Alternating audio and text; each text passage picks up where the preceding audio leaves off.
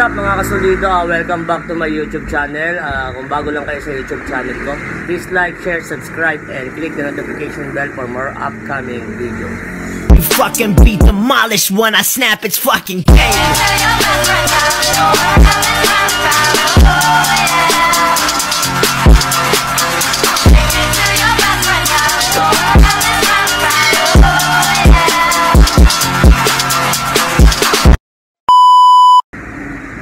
You're right mga kasulido. Um, for today's vlog, ah, magre-reset po tayo ng ECU ng Honda Beat. Re-reset po natin yung Honda Beat ECU na FI. Pumunta si customer dito at nagtanong sa akin um, bakit pumupugak-pugak, nalinisan naman siya ng throttle body, nalinis na rin yung FI, pero ganun pa rin siya. Ah, pugak-pugak pa rin yung nangyayari sa kanyang motor. Ngayon, i-reset natin yung ECU niya para bumalik yung dati niyang pwersa, yung power ng throttle body niya. Kaya mga kasulido, ano pang inaantay natin? Let's go! A few moments later. Alright mga kasulido, ang gagamitin nating tools para sa pagre-reset ng ECU ay ito, dalawang wire. Dalawang wire na nakaganyan, nakabaluktot. para i-connect natin yan sa mga dun sa connector ng ano ECU. Tapos flat screw tsaka Phillips screw.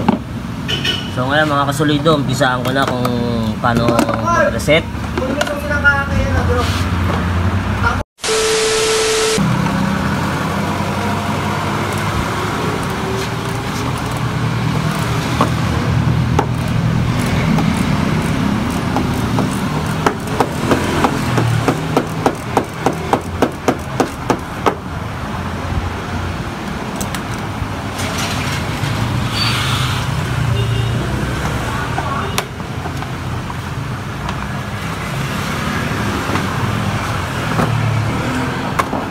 Yan, pag nabuksan natin yung battery niya, ito hanapin mo to.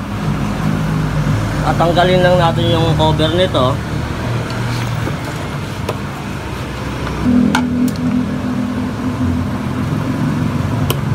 Yan.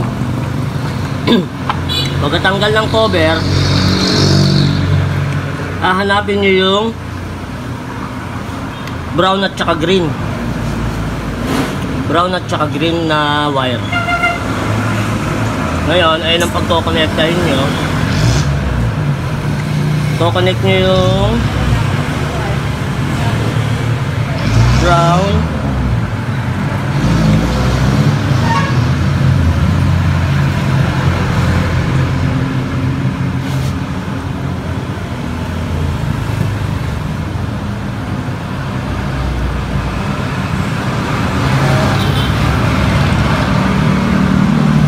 tsaka green.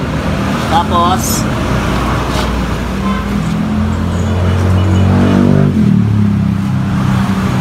sususi lang, i-on lang yung susi. Na naka-steady yung ilaw niya. Patayin ko ulit ha. Patay. On. 1, 2, 3, 4, 5. Tanggal. Tapos balik.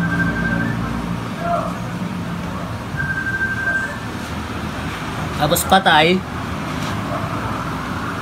I-off nyo ulit yung susian. Tapos punta na tayo dito sa kabila.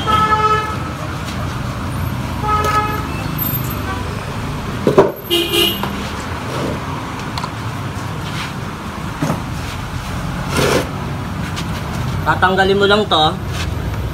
Gabaan nyo to para mas maluwag tatanggalin nyo lang tong tong throttle positioning. Kung saan nakalagay yung throttle positioning. Ngayon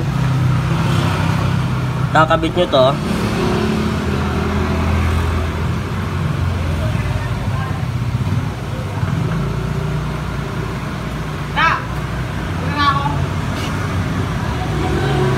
Pag nakakabit na i-on nyo ulit yung susian pagka-on ng susian magbiblink siya matatanggal. 1, 2, 3, 4, 5. Tanggal.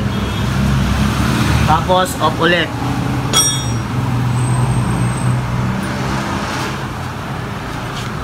Off.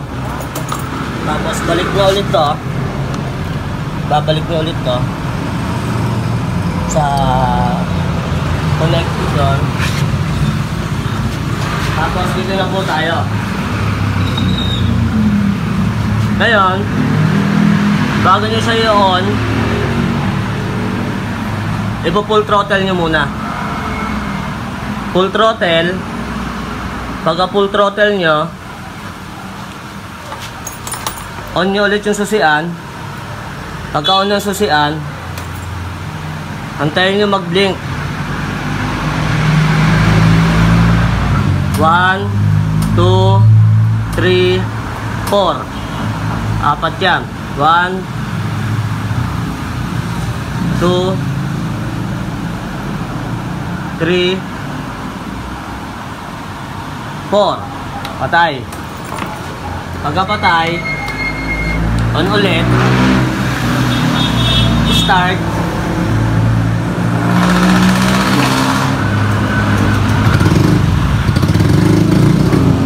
Medyo bugak-bugak pa siya. Wala pa siyang pwersa. Patayin ulit. Tapos bago ulit i-on yung susian, i-full throttle niyo ulit. Pagka full throttle, on ulit. Antayin ulit mag-blink to. 1, 2, 3. Tatlo na lang. Iilaw yan ng tatlo. 1, 2, 3. Patay. Ngayon, on nyo ulit. Start ulit. Medyo meron pa, konti pa. Patayin nyo ulit. Off nyo ulit yung susi. Full throttle ulit. Tapos, on nyo ulit. Pag nag-blink ulit, saka nyo bibitawan ulit yung throttle. 1, 2. Dalawa na lang siya. Dapat, dalawa na lang yung magiging ilaw niya. 1, 2. Patay. On nyo ulit. Start. Medyo bugak pa siya ng konti. Diba? Bugak pa. Patay ulit. Full throttle ulit. Pagka full throttle, open nyo ulit yung susian. Pag nag-blink, 1. Iilaw siya ng isa. Isa. Patay. Ngayon, bukas, all good na siya. Naka-reset na yan. Start.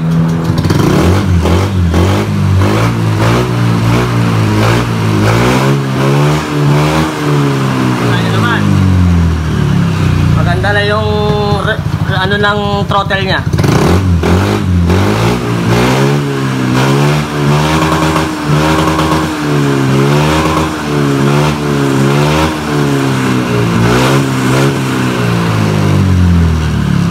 Akala natin, papatayin ulit.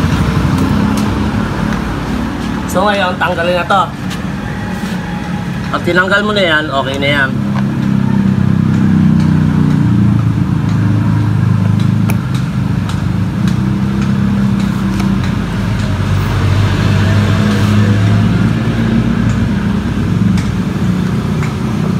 So, ganun lang po kadali mag-reset ng ECU ng Honda Beat.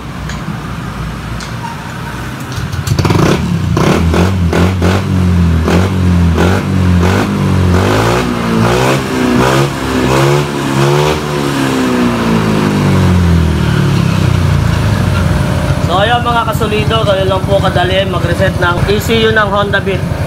Simpleng simple lang po.